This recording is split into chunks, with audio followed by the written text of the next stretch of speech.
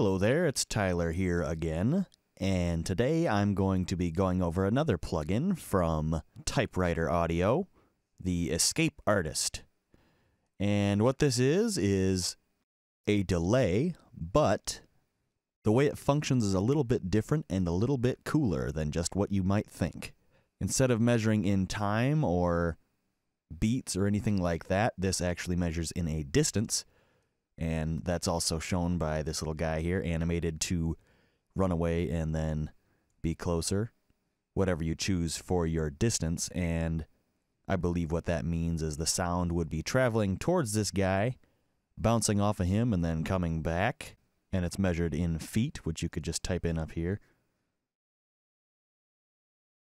And so it can give you some pretty cool little effects and things and just have you think about delays in a different way since of course sound does have a speed and me enjoying math and things like that this is a fun little combination of just a different idea with a regular delay.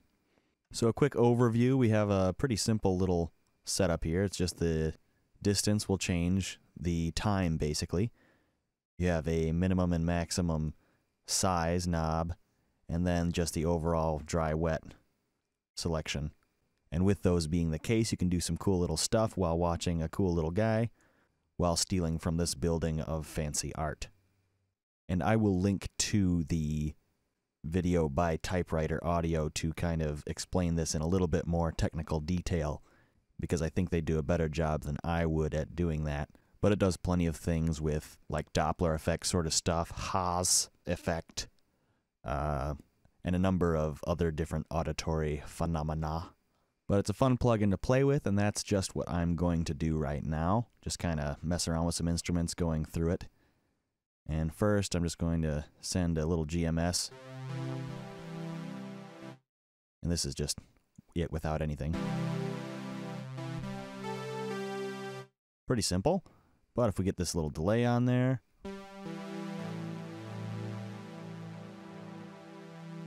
can hear it moving. That's like the Doppler sort of stuff. He's getting further away, and then it's the sound is coming back and forth.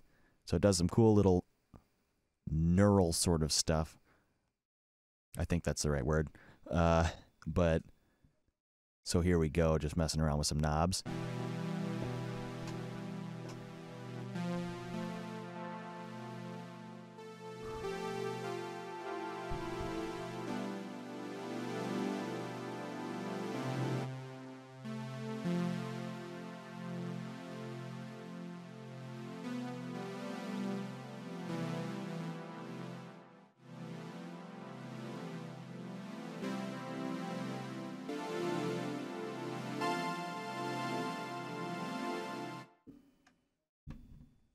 So a lot of cool little things there. Again, not doing anything specifically like a precision delay sort of stuff. It's more of a specialty effect, I guess, sort of thing.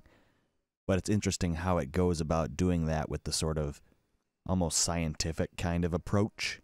And I like that sort of thing. Let's play with a couple other sounds here. Oh, I've got another one. Oh, what I did for this one, I put a patcher, have some Peak controllers doing LFOs.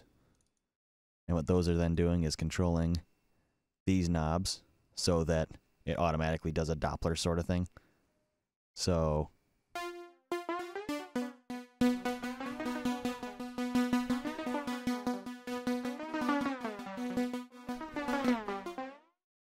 it does some weird stuff, but uh,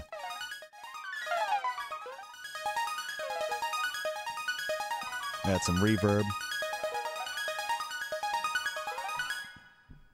So that's pretty weird, huh?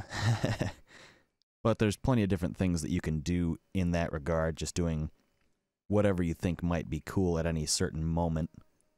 And so in my brain, I kind of think of it almost like a guitar pedal sort of thing, because under the hood, it's doing a lot of different things that I'm not necessarily thinking about on a regular basis, you know?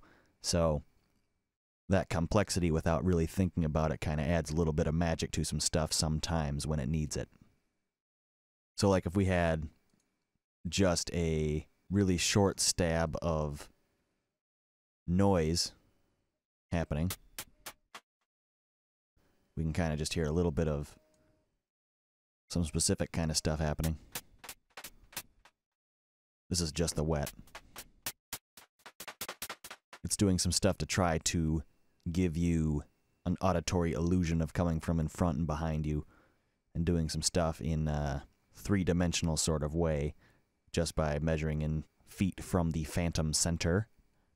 And again, this sort of stuff is a little bit over my pay grade, but a lot of cool stuff goes into this. And again, seems like a good company, good small stuff to kind of help support when possible. And I think that they can really get some good stuff out of it.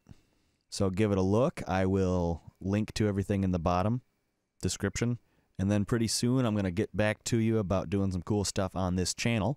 So thank you for watching so far, and I will see you soon. Bye bye.